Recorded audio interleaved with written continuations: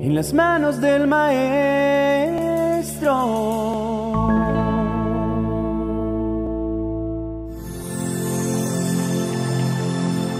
Cuando atravesamos por momentos difíciles, nuestro ser se ve envuelto en medio de sentimientos que nos confunden.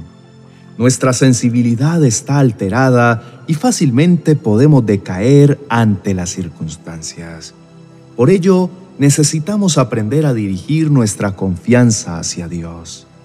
Las dificultades para cada persona pueden ser distintas, pero su alma se siente igualmente involucrada, porque más allá de las características o el tamaño del problema, lo que realmente cuenta es la manera en que somos afectados por esa situación, la forma en que enfrentamos lo que nos está pasando. Una persona puede estar viviendo la pérdida de su casa o una enfermedad y otra puede tener problemas con sus compañeros de trabajo o en su lugar de estudio. No obstante, ambas están afectadas por la experiencia. Dependiendo de cómo logren enfrentar cada caso, pueden salir fortalecidos, cambiados, o por el contrario, tomar decisiones que los lleven a sucumbir en medio de sus conflictos. No se trata de no tener dificultades, pues en este mundo todos vivimos momentos buenos y malos.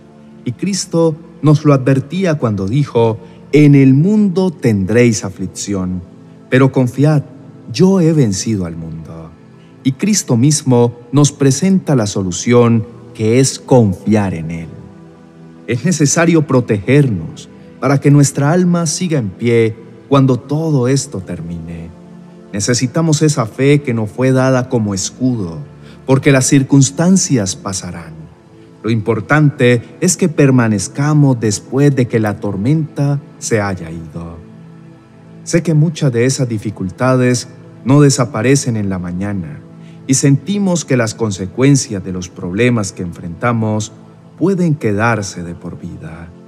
Por ello, debemos cambiar de perspectiva si queremos continuar si queremos avanzar y salir del hueco en que estamos sumergidos. Debemos confiar en los milagros de Dios para ayudarnos aún en medio de aquello que parece imposible de superar. Entonces, necesitamos adquirir esa fe que nos proteja, que nos resguarde en un lugar seguro, recuperar nuestra confianza aun cuando todo nuestro panorama muestra que las cosas están de mal en peor cuando no vemos salida. Una de las primeras cosas que ponemos en duda cuando nos sentimos abatidos es que Dios sigue a nuestro lado. Sentimos que Dios nos ha abandonado, que ha decidido dejarnos ahogar, o incluso llegamos a pensar que ha sido Él mismo quien nos ha castigado con este problema. Esa no es la realidad. Dios es un Padre que te ha perdonado por amor y que no busca tu mal como quien necesita cobrar venganza.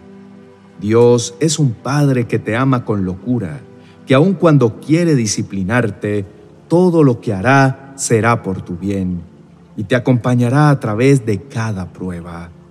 Debes tener la certeza de que no estás solo, que Dios no desea tu mal y que por el contrario siempre buscará que cada situación te sea de provecho.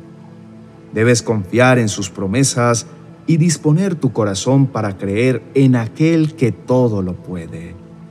Dios nos ayudará a aprender, a crecer y a superar aquello para que avancemos, para que podamos ser renovados y transformados, para que podamos ser promovidos a cosas mejores.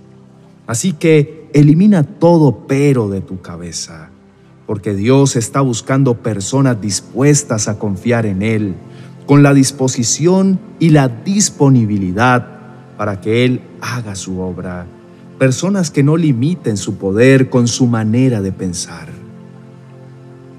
Cuando los problemas están fuera de nuestro alcance, cuando son cosas que no decidimos, que no causamos, que la vida nos puso delante sin siquiera avisarnos, podemos confiar que el Señor nos sostendrá, que Él será nuestro ayudador y nuestra fortaleza, nuestro consuelo, que no permitirá que seamos derrotados si ponemos nuestra confianza en Él. Debemos aferrarnos a esas palabras que Jesús le dijo a Marta cuando Lázaro había muerto. Cree y verás la gloria de Dios. En cualquier caso, siempre Dios estará a nuestro lado ayudándonos.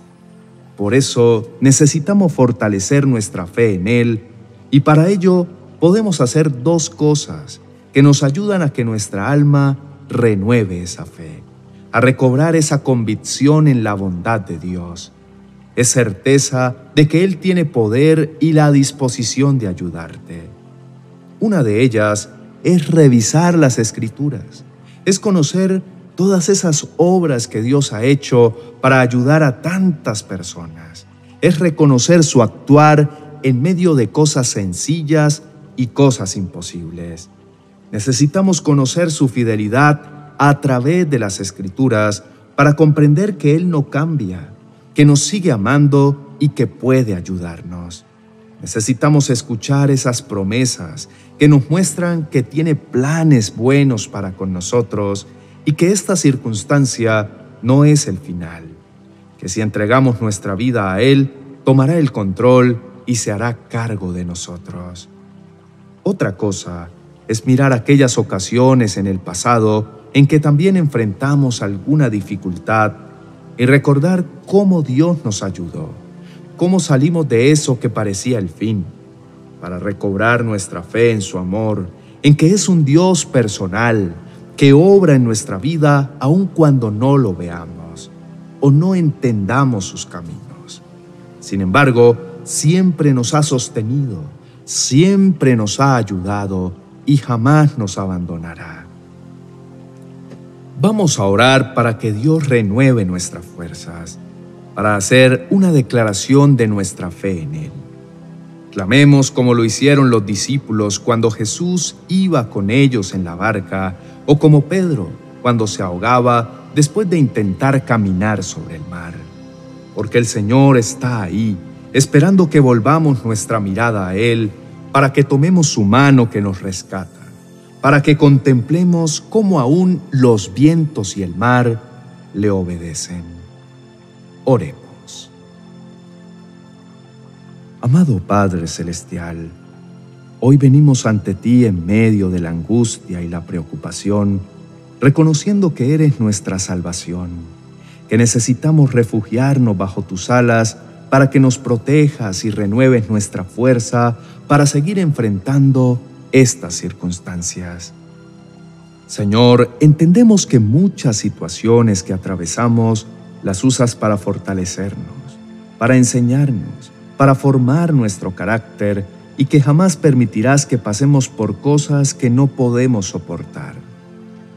Que por el contrario, siempre en tu amor infinito, nos brindes soluciones que nos ayuden a salir victorioso de cada batalla y sobre todo que nos acerquen más a ti, porque a tu lado nada podrá contra nosotros. Sé que a través de esta adversidad me llevarás a un nivel mayor de fe me mostrarás tu poder en medio de mis debilidades. Sé que en ocasiones necesito transitar por valles de sombra que me recuerdan que cuento contigo, que estás a mi lado y que lejos de ti nada puedo lograr.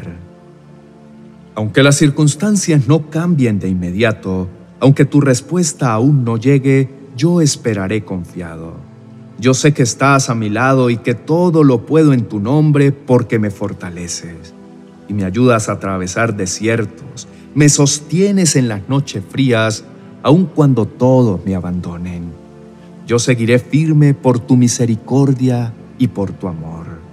Declaro que mi alma se sostiene de tu mano y que sin importar la incertidumbre, esto no me derrotará, porque escuchas mi clamor y vendrás a rescatarme.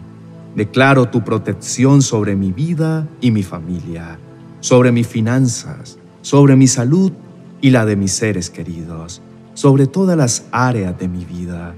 Señor, disponemos nuestro corazón para que obres con libertad, porque sabemos que no buscas habilidades o talentos, que no necesitas hombres con superpoderes o influencias, porque hemos visto en las escrituras que llamaste hombres ordinarios para hacer cosas extraordinarias. Hoy toda mi confianza está puesta en ti, mi Señor y mi luz, mi salvación, mi roca firme y mi torre fuerte. Toda mi vida y mi destino lo pongo a tus pies.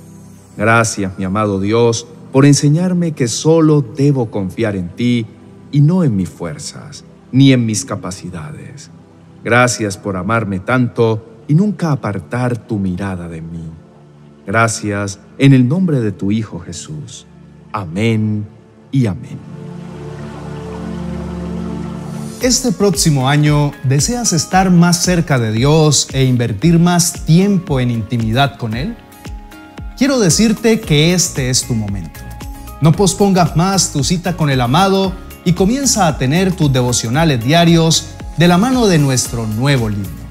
366 reflexiones que te ayudarán en tu diario vivir. Un libro que contiene diferentes enseñanzas que te ayudarán a conocer más sobre el Padre. Él es nuestro primer amor y merece el lugar número uno en nuestra vida.